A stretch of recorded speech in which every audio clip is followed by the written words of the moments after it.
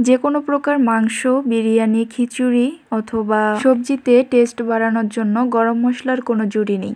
গরম মশলা ছাড়া এই রান্নাগুলো করা একেবারেই অসম্ভব। পারফেক্ট গরম মশলায় খাবারের স্বাদ কিন্তু দ্বিগুণ হয়। তো আজ আমি তোমাদের সঙ্গে শেয়ার করব কীভাবে ঘরে থাকা সামান্য কয়েকটি উপকরণ দিয়ে একদম শাহি গরম মশলা তৈরি করা যায় তারই রেসিপি আসসালামু আলাইকুম everyone welcome back to my channel কেমন আছো তোমরা সবাই? আশা করছি আল্লাহর অশেষ রহমতে সবাই ভালো আছো, সুস্থ আছো। তো রমজান মাস চলছে, ভাবলাম যে তোমাদের জন্য একটা মশলার রেসিপি নিয়ে আসি। আশা করছি তোমাদের সবার অনেক ভালো লাগবে। আর আমি পার্সোনালি এই রেসিপিটা ফলো করে মশলা তৈরি করি। আর আমার মশলাটা কিন্তু ভীষণ ভালো হয়, তো আজকে আমি তোমাদেরকে দেখাবো আমি কীভাবে ঘরে থাকা সামান্য কয়েকটি মশলা দিয়ে একদম শাহি গরম মশলা তৈরি করি।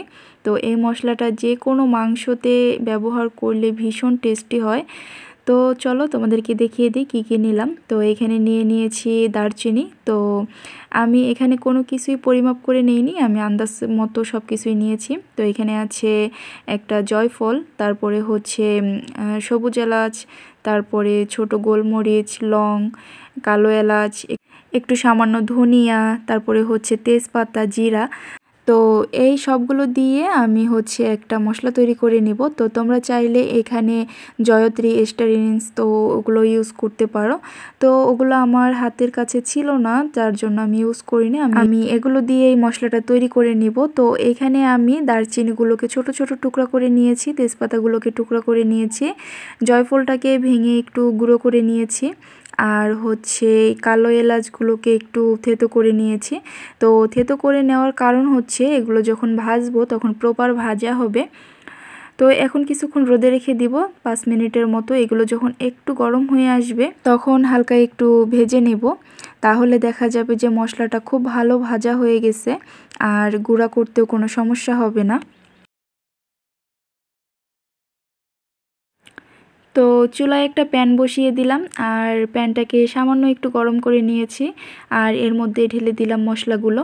তো আমি এখন হালকা করে নেড়ে চেড়ে তারপরে মশলাটাকে ভেজে নিব। আর অবশ্যই খেয়াল রাখতে হবে মশলার কালার যেন চেঞ্জ না হয়ে যায়। মশলার কালার চেঞ্জ হয়ে যদি কালচে হয়ে যায়, তাহলে কিন্তু মশলাটার কোনো রান্নায় ব্যবহার করলে সেরকম ভালো লাগবে না, তিতো হয়ে যাবে। তো আমি এখানে একদম লো হিটে মশলাটাকে ভেজে নিচ্ছি। তো মশলা ভাজার সময় দেখলাম আমার নিচের জিরাগুলো তাড়াতাড়ি ভাজা হয়ে গেছে। তো আমি জিরাগুলোকে আলাদা করে নিয়ে উপরের যে গোটা মশলাগুলো আছে সেগুলোকে আরেকটু ভেজে নিচ্ছি। তো দুইটা শুকনো মরিচও দিয়েছিলাম, সেগুলোও ভেজে নিচ্ছি ভালো করে। তো এটা আরেকটু ভাজা হয়ে গেলে তারপরে আমি একটু ঠান্ডা করে তারপরে ব্লেন্ড করে নেব। তো এই তো ব্লেন্ডারের যে ছোট একটা জার থাকে মশলা পাউডার করার জন্য, সেটাই আমি নিয়ে নিয়েছি এখানে। আর পুরো মশলাটাই আমি দিয়ে দিলাম, তো এটাকে এখন ভালোভাবে ব্লেন্ড করে নিলেই আমার হচ্ছে মশলাটা একদম রেডি হয়ে যাবে। তো কয়েকবার ব্লেন্ড করে নিলেই কিন্তু একদম মিহি হয়ে যায়।